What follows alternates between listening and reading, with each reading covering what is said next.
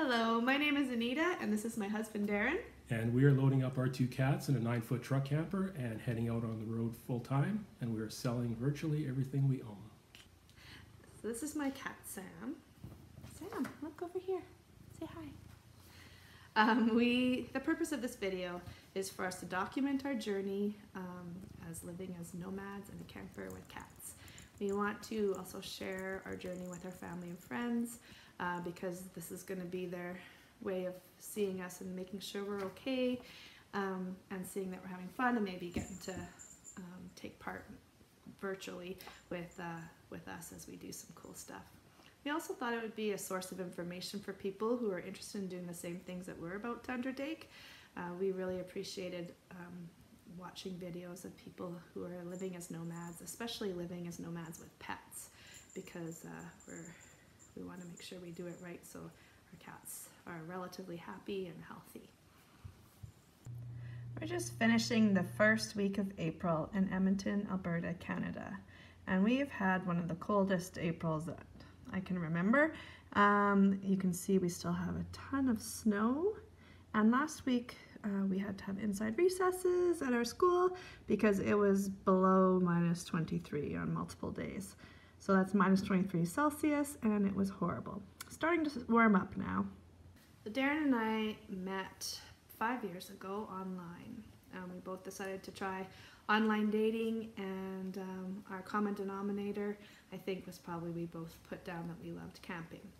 Um, so we started dating and that was going well. We went camping a lot. We started up this little fantasy world where we talked about going and living off the land and we told our parents and we all laughed because you know it would never happen and suddenly as we started watching things on YouTube and talking about it, suddenly it didn't seem like such a, of a joke. It seemed like maybe it was possible.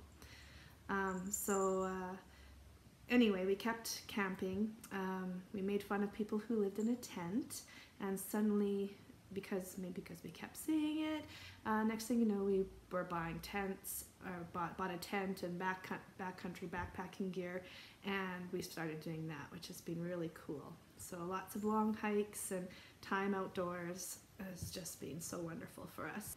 So a little while ago, um, we were sitting around one morning and kind of made a decision that maybe in the next 18 months we I would leave my job. Darren's already left his job. Um, and we would go live off the land, go live as nomads in our camper. Um, about three months ago, we decided maybe it needed to be sooner. We've uh, the reasons for that is my parent, my mom is doing really well. I lost my father uh, five years ago, um, and he died pretty young in my mind, and so that's been weighing on my mind. Like, am I doing stuff at the right time? What if I miss out on all the fun things that I want to do? Um, so my mom's well. My son, he's an adult now, and he's doing really good, and um, he's always encouraged me to to take risks and do do different things, live my life. Um, so uh, we decided to maybe do it sooner. We've told family, we've told friends. It's gone over better than we expected. People are worried about us, but I think they also appreciate that we're going to do something fun. Uh, like I said, Darren's already resigned from his job, and I'm a teacher, so I really want to finish off the year. Um, it'll be a hard thing. I'm going to give my notice this week. Um, I will really miss the classroom, the kids. Um, I'm an assistant principal, so I will miss that leadership and the staff and, and families and community. But um, I think I'm ready to take on a new adventure. And I can always come back to it if I want to. Um, so anyway, that's going to be a tough one. I'll have to document that. Uh, so we um, are going to sell our house and we're going to downsize. We have a lot of stuff to get rid of. Uh, we've gotten rid of a lot already and uh, we're going to find some storage for the stuff we just can't get rid of. And we have to get our camper ready. So we've already gotten some solar panels that are sitting downstairs being ready to install once the weather improves. And um, yeah, and the last thing that we have to do is we need to get our cats ready.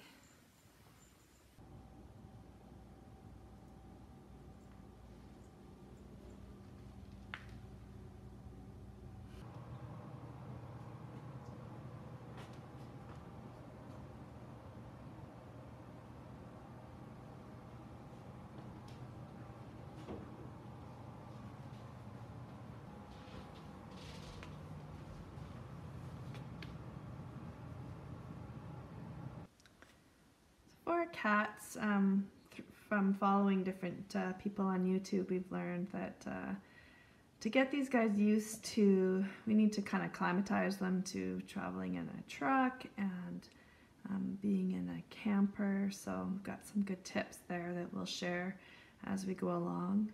Um, this one, this cat here, she probably won't have too much trouble. She's pretty easygoing as long as there's food and a place to get scratches. Um, she's going to be okay. This is Shadow. Shadow is a little more particular about things. She is not a fan of wearing the harness, so we've started harness training her and get, giving her extending times for her to be wearing it. Um, she doesn't handle change well, and um, but she does love being outside more than anything in the world, and I think this would give her a great opportunity. We are going to keep them on a leash. Even at home, we try not to let them be outdoor cats because um, um, we're worried about them getting run over and stuff. But um, but yeah, she's going to get to be an outdoor cat with a harness in her new upcoming life. So why are we doing this? Uh, we are to have an adventure.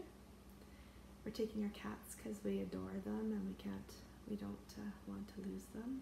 They don't want tongue sticking out their shadow. Uh, we want to escape winter. That just seems so nice to me to imagine being in a desert in January and being warm. Oh, so awesome.